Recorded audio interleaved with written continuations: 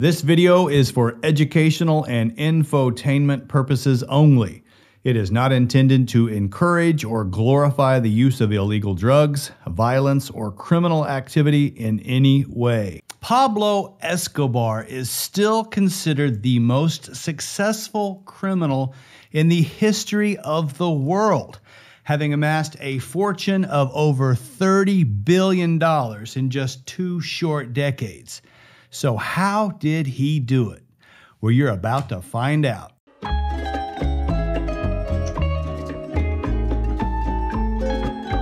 I'm Joshua Roberts, attorney at law, and you are watching Lawyer Up. Today we are talking about the life and times of Pablo Escobar. We're going to go back, we're going to talk about his childhood and how he got into the cartel business. We're going to talk about cocaine production and how that works.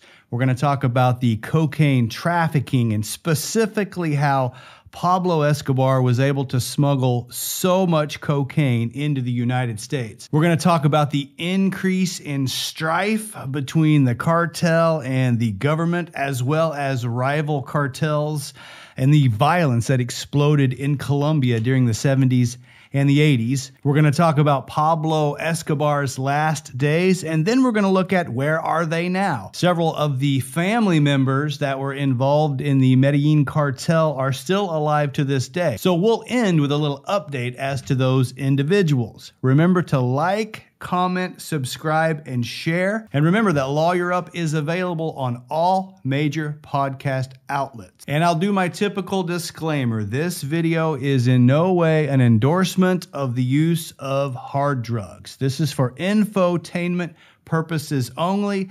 Don't use hard drugs. And with that disclaimer, Let's talk about Pablo Escobar. So, Pablo Escobar was also known as Don Pablo El Padrino, the godfather, and El Patron, the boss. He was born in 1949 in Colombia, South America, and he grew up in a town called Medellin. Pablo was one of seven children. His father was a farmer, his mother was an elementary school teacher, and stories differ on how Pablo originally got into organized crime. Actually, stories differ on about everything you're going to hear in this video. Everybody's got a book or they did an interview and they have a different perspective about how this whole thing went down. So if you hear something that's different than what you heard in this video, it's not a shocker. What I've tried to do is find where these stories overlap and where we can have some consistency with the accounts, and that's what I'm reporting in this video. Even the city of Medellin I've heard it pronounced four different ways. And I'm going with the traditional Spanish version that we say in the United States, but the people who actually live there, they pronounce it Medellin. So conflict abounds with this particular story. So, what we know from the beginning was that Pablo Escobar stole gravestones as a kid. What he would do was he would steal the gravestones, he would sand down the letters and the numbers, and then he would resell them to smugglers. When he got a little older, he started making counterfeit high school diplomas for teenagers in Medellin. Then he started selling contraband cigarettes, making fake lottery tickets, and stealing cars. Meanwhile, and make a mental note of this, over in the United States, the Controlled Substances Act was passed in 1970, which made the selling, smuggling, and trafficking of cocaine a Class A felony, punishable by prison of from 10 years to life. Now, this was going to become a very big deal in Escobar's life in a few short years. So don't forget about the Controlled Substances Act of 1970. But back to Colombia. Now, in the early 1970s, Escobar broke bad for good when he made $100,000, and that's US dollars, for a kidnapping of an executive from Medellin, and he held him for ransom. Now, that stunt got the attention of Alvaro Prieto, who was a major contraband smuggler in and around Medellin at that time.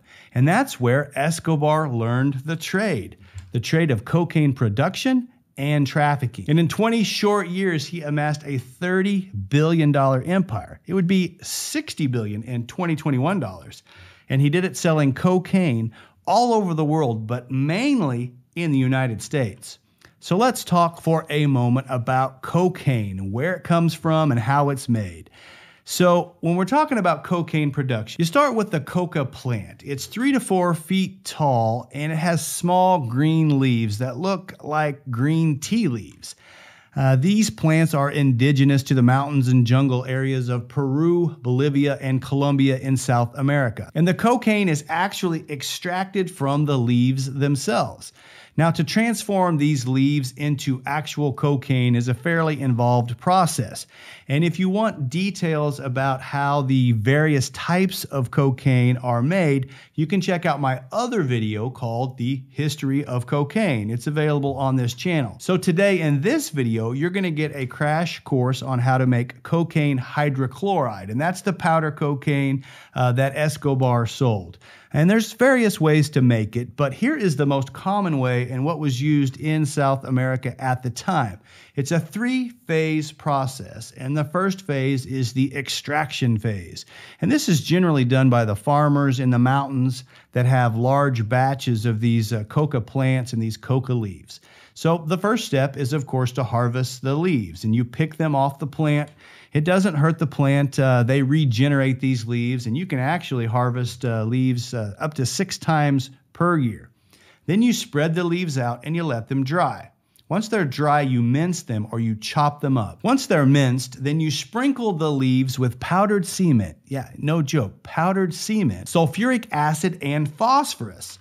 Then you toss the leaves kind of like a salad to make sure they get an even coating all around. Then you put these coated leaves into a 55 gallon drum or drums, which are then filled with diesel fuel or you can use kerosene uh, where the leaves sit for a few hours as the cocaine is extracted from the coca leaves. Then we move to phase two, and that's called the base phase. What you do there is you drain the liquid out of the drums. Now, the leaves will stay in the 55 gallon drums and they can be discarded because you're basically done with them at this point. So, what drains out is a light green liquid. It's a mixture of the diesel fuel and the extracted cocaine. Now you add ammonia, which turns this green mixture into a milky white mixture as the diesel fuel bonds with the ammonia and separates from the cocaine. Then you pour that mixture through a filter. Usually they use a cloth uh, and the diesel and the ammonia they pour through, and what remains on the cloth or the filter, that is the cocaine paste. Now, once that paste is dried, that is the cocaine base or freebase cocaine. The farmers in South America call it pasta base. It's a pearly white or an off color white. And that's as far as the farmers take it. They usually will sell the pasta base or the freebase cocaine to cartels or other intermediaries for further processing. And that further processing is phase three, the hydrochloride phase. And this is usually done in a cartel cocaine lab. It can be done on a small scale in just an everyday kitchen, but they usually have formal labs where they process mass quantities. So what you do is you take the cocaine base and you put it in an acetone water bath and you bring it to a boil. Then you mix in hydrochloric acid, which causes the crystallization and converts the cocaine base into cocaine hydrochloride. So from there, you drain the liquids and you press the cocaine hydrochloride to squeeze out all of the excess solvents. And then you put that mixture into brick forms. Uh, that will render a product of about a kilogram in weight and then you let that dry. The resulting product is a fairly pure cocaine hydrochloride, or that bright white powdery cocaine that we're familiar with here in the US. And pure cocaine is expensive, so dealers often step on it or they cut it with some inexpensive additive. They use baking soda or caffeine or ephedrine. They'll use about anything that's white and remotely powdery. And so basically, that's how Escobar produced the powder cocaine that he sold as the leader of the Medellin cartel. Now, most of what we know about Pablo Escobar comes directly from his family, whether it be by book or by interview. Now, some of it comes from a couple of his lovers. Most of the specific financial information comes from his brother, Roberto Escobar, who was the bookkeeper for the cartel and who wrote the book The Accountant's Story Inside the Violent World of the Medellin Cartel. And from Roberto, we really gain a understanding of the economics of cocaine in the 70s and the 80s and just how exactly Pablo Escobar was able to make 30 billion dollars in just 2 decades. And his short answer was it was supply and demand. So let's look at that in a little more detail. Let's talk about the supply side, right? So 75% of the world's cocaine comes from Colombia. And in their heyday, 80% of the cocaine that was coming into the United States was controlled, at least in part, by the Medellin cartel. So they had a stranglehold on the supply. And in an unregulated black market, that is a very good thing for your business. Now let's talk about the demand in the United States. Now, cocaine was popular at the turn of the 20th century until about 1914 when it was criminalized due to its high potential for addiction and overdose.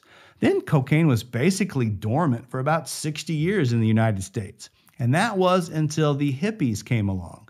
And no, hippies weren't doing cocaine, they were doing their marijuana and their psychedelics. But what they did was they normalized drug experimentation and recreational drug use in the United States.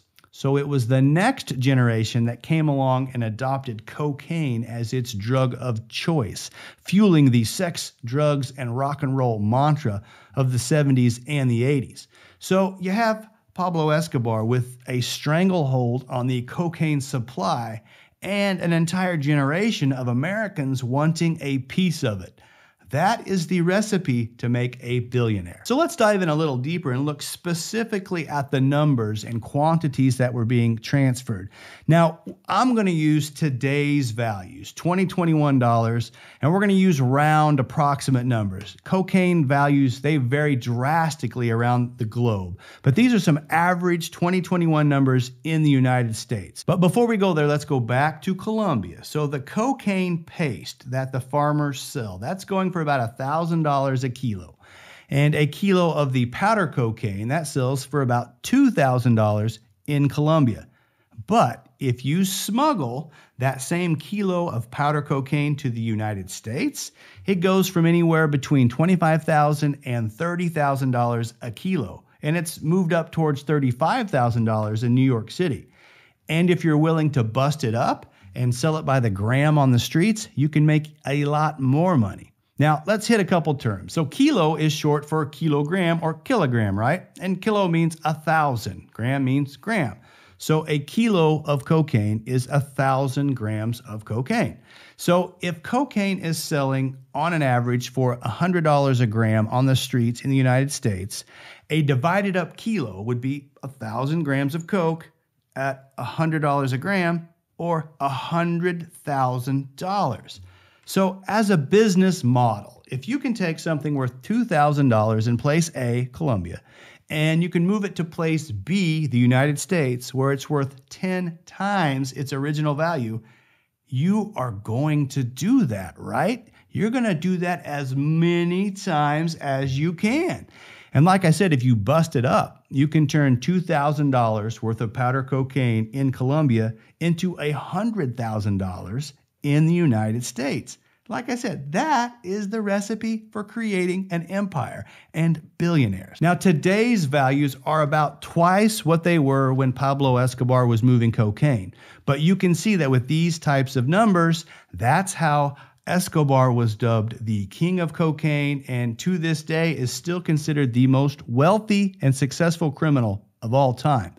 And so we have a lot of money at stake which is exactly why people kill and are willing to be killed for the cocaine business. So, beginning in 1975, Pablo perfected his cocaine production and distribution operation, mainly flying planes out of Colombia and Panama into the United States, where the demand for cocaine was extremely high. In 1976, Escobar married Maria, who he affectionately calls Tata. And then they had two children over the next few years Juan Pablo, who now goes by Sebastian, the boy, and Manuela, the girl. Now, also in 1976, Escobar and his men were stopped bringing 40 pounds of freebase cocaine back from Ecuador into Medellin. Escobar tried to bribe the police officers, but when that didn't work, he then tried to bribe the judges. And when that didn't work, he just had all the witnesses killed. And ultimately, that led to the dismissal of his case, but it really was a precursor for what would transform Colombia into the murder capital of the world in just 15 short years. But let's go back to 1977. As the cartel made more money, they bought bigger planes to smuggle in more cocaine, to make more money, and to buy even bigger planes, right? Vicious cycle of wealth. The problem was these planes couldn't really make the entire trip without having to stop and refuel, and that was risky. So in 1978, the cartel partners purchased Norman's Cay. It is an island in the Bahamas, about 200 miles southeast of Florida, and they purchased this as a transshipment point. Now, the island already had an airstrip and plenty of amenities, so Pablo just built a refrigerated warehouse to store the cocaine, and this island served as their staging area for tons and tons and tons of cocaine that was smuggled into the United States between 1978 and 1982. As the empire grew, the Medellin cartel started selling cocaine all over the world and they transitioned from the coca plants of Colombia to the higher quality coca plants of Bolivia and Peru. So, how specifically was Escobar able to smuggle these drugs into the United States? Well, mostly they did it by air, they did some by land and then even some by sea. In the beginning, as I mentioned, he would just fly in smaller planes that were loaded down with cocaine from the Bahamas uh, into Miami. They flew mostly at night, and the more success they had, the bigger the planes became. But once the authorities started catching on to this method, the cartel started doing airdrops out in the ocean and doing boat to boat transfers way out at sea to bring the cocaine in by water. They also used some commercial fishing operations where it was normal for them to leave in the morning and be out at sea all day long and then come back in at the end of the day. They were using these commercial fishing operations to smuggle coke into the United States. And they also started doing some land drops. And these were where planes would drop large crates of cocaine into deserted areas of Texas that were picked up by his associates on this side of the border. And interestingly, just prior to the demise of the Medellin cartel, they had actually purchased two remote control Russian submarines that could each hold a ton of cocaine that they were using to get cocaine from Colombia to Mexico, where they were partnering with Mexican cartels to smuggle the cocaine across the border. Now, during their height of power, Roberto Escobar reported in his book that the Medellin cartel was bringing in $420 million a week from cocaine sales. And they claim to be moving 15 tons of cocaine into the United States every single day. Wow. And it was with these huge profits that Escobar purchased Hacienda Napoles, which is an eight foot square mile estate between Medellin and Bogota, Colombia, upon which he constructed his paradise. Now, when it was completed, it contained a mansion, of course, a lake, a full zoo with antelopes and exotic birds and giraffes and elephants, even hippos. It had a kart racing track. It had its own private airport and helipad. It had large statues of prehistoric animals, giant sculptures.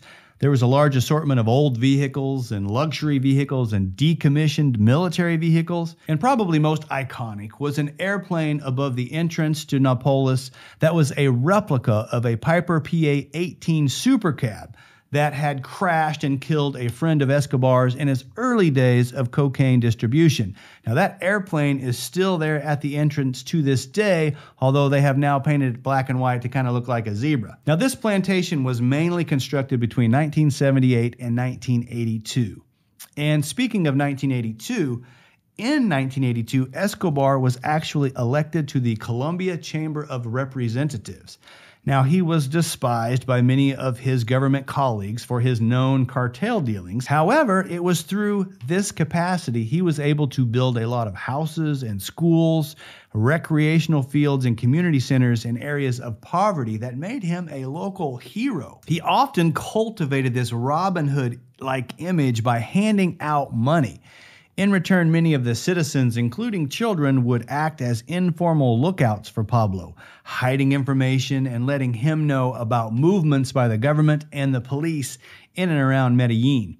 And it is speculated by many that this short term stint in government was a desire by Pablo Escobar to effect legislation that would block the extradition of Colombian citizens to the United States. Because remember, drug dealers in the US faced a prison sentence of 10 years to life.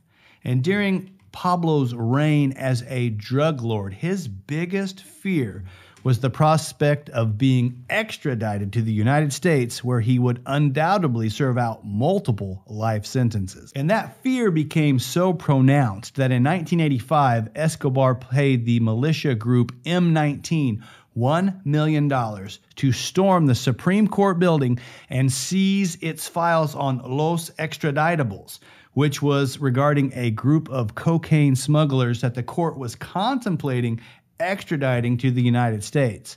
Now, this raid, which has been dubbed the Palace of Justice Siege, turned into an absolute disaster. Now, while the extraditable files were destroyed, 98 people were killed, including over half of the Supreme Court judges during the military's forced retaking of the facility. And years later, Virginia Vallejos, who is a journalist and lover of Escobar, she gave her testimony regarding this incident that would land at least one of the military generals in jail. In response to her testimony, she was granted asylum to the United States, where she presently lives in Miami, Florida. But it was at this point that the government had pretty much lost its patience with Escobar. But, you know, the police were outmanned and they were outgunned. And this battle over extradition really loomed large in Colombian politics over the next several years. In fact, lots of candidates who favored extradition lost their lives.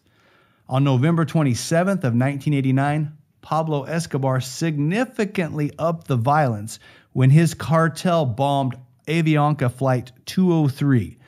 All 107 people on board the passenger flight were killed, as well as three on the ground that were hit by falling debris. The bombing was an assassination attempt of pro extradition presidential candidate Cesar Gaviria, who was not on the plane at the time and who actually went on to become the president of Colombia in 1990. Undeterred, nine days later, on December 6th of 1989, the cartel bombed the Administrative Department of Security building, referred to as the DAS building, in an assassination attempt on its pro extradition director. The truck bomb destroyed 14 city blocks in Bogota, killed over 60 people, and injured more than 2,000. Again, this assassination attempt missed its mark as the director escaped unharmed. However, these two incidents are what prompted the Bush administration in the United States to start supporting intelligence activities in Colombia regarding Escobar. So the increase in violence obviously drew the attention of law enforcement and their incredible grip on the world's cocaine supply caused constant conflict from rival cartels, including the Cali cartel, who was located about 200 miles from Medellin and who had aspirations of taking over the control of the cocaine empire. And so in 1991 and 92, Colombia became the murder capital of the world for both civilian and police deaths as Escobar was now paying men bounties for the killing of police officers, of which over 600 were killed during this time period.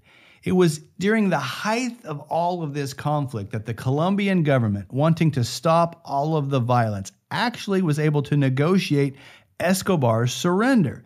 And the deal was that in exchange for avoiding extradition to the United States, Escobar would agree to cease all criminal activity and to serve five years in a Colombian prison.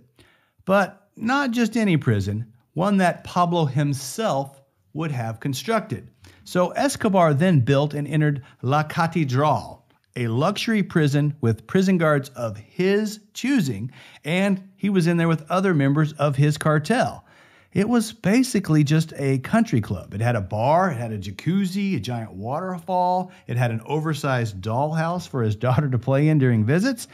And so basically, nothing changed for Escobar except for his address.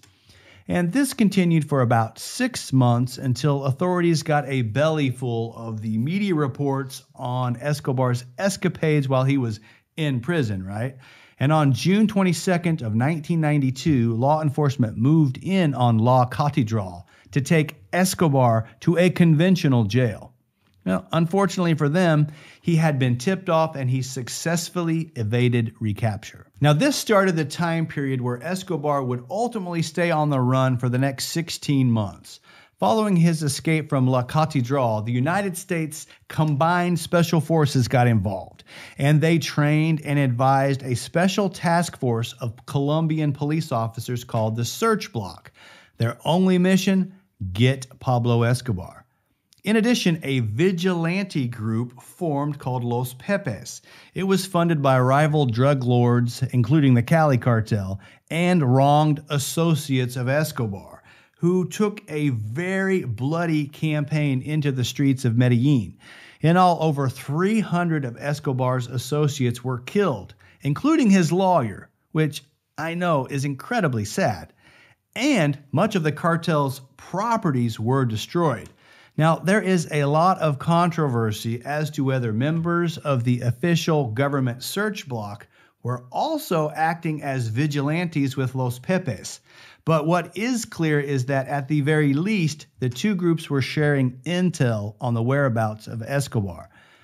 Now, Pablo was able to stay one step ahead of his pursuers for 16 months until the search block was able to triangulate his position in Medellin using cell phone data. And on December 2nd of 1993, eight men blew the door open to the home where Escobar was staying. They pursued Pablo and his bodyguard El Limon up onto the roof as they attempted to flee across adjoining rooftops. Ultimately, El Limon was shot and killed. Escobar suffered gunshot wounds to the leg, torso, and one fatal shot through the ear.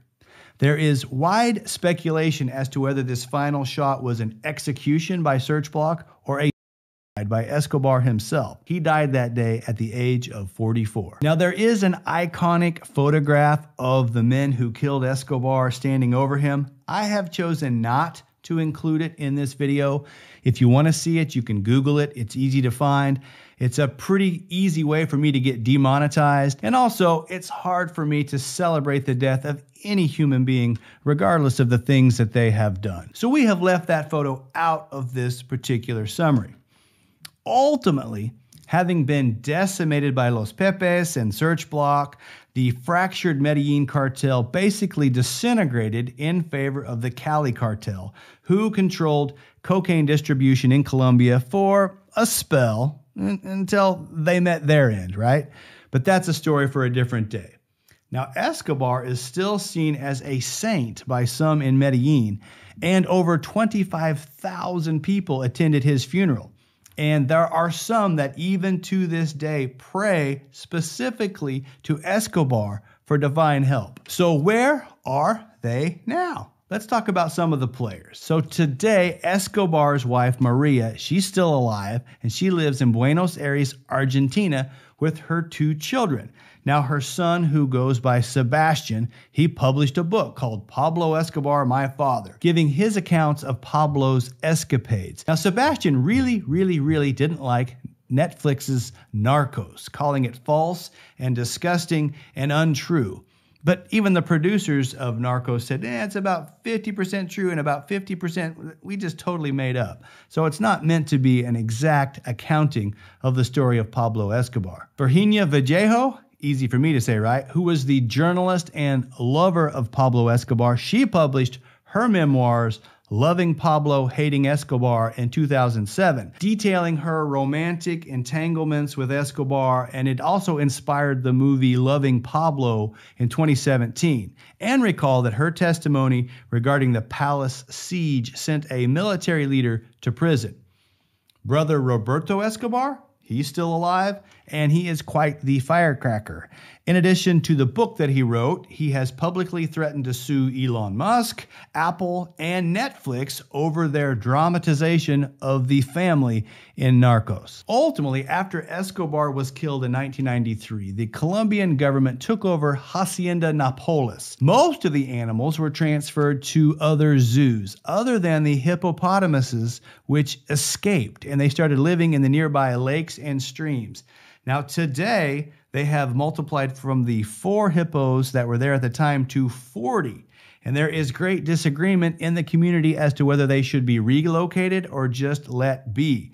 Now, note Hippopotamuses are known to be aggressive jackasses, right? And they are not native to Colombia. So it's understandable why some of the locals would want them out of there. Today, in 2021, the plantation is an amusement park. It contains an animal safari like zoo as well as a water park. It's called Parque Tematico Hacienda Napoles, and it's surrounded by four luxury hotels. And last but not least, when we're talking about where are they now, let's talk about cocaine. And cocaine today.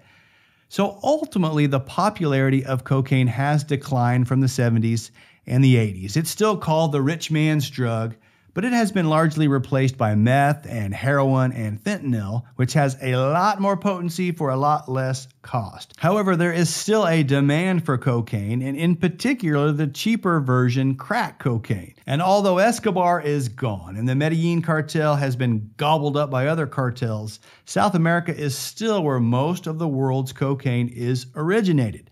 However, modern day Colombian cartels have partnered with Mexican cartels, and most notably the Sinaloa cartel, formerly headed by El Chapo, who you may have heard of. So, by partnering with Mexican cartels, they can bring the cocaine right up next to the United States border in cartel staging areas, and they mostly break it down into smaller quantities and it's carried across the border by mules.